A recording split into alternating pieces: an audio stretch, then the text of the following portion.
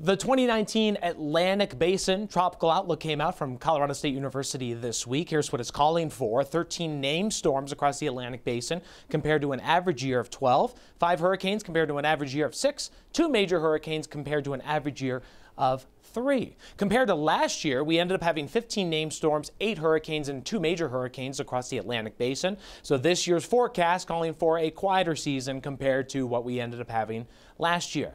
A lot of variables go into making these forecasts, looking at the amount of wind shear, La Nina versus El Nino, even those sea surface temperatures both in the Pacific and the Atlantic. Right now, we have warmer sea surface temperatures compared to average in the central Pacific, known as El Nino, and that tends throughout the season to give us more wind shear across the Atlantic side. Wind shear is a change in wind speed and or direction with height and tends to disrupt tropical activity.